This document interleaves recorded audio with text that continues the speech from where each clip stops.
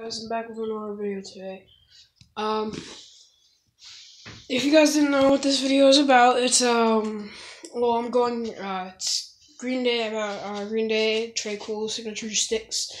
So, the story about how I got this is I got it from, um, when I was, so me and my friend, uh, if you don't know, if you're, I don't know his YouTube channel, it's Sam H Music, um, you should go follow it. Um, so, he gave me a, a gift card, a Guitar Center gift card for my birthday about a month ago, and um, I we were out there Monday, um, just you know hanging out, playing, jamming.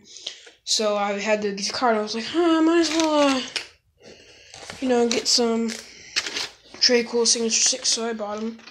So let me um, open it so you can see what's in there. So you know, just some good stuff, other stuff here. Some. And, um, this is about, oh wow, that's a big sticker. Oh, it's just a little verification thing, so if anything happens. So, here we are with our Tré Cool signature sticks. So, it says Zildjian, I think it says on there. So, you know, it says in the USA premium cool premium sticks. So, here we are. So, So, uh, check them out. So, here we have our Tré Cool signature sticks here. It says Tré Cool. Look at the Tré Cool signature right there. And it says Zildjian on there. It says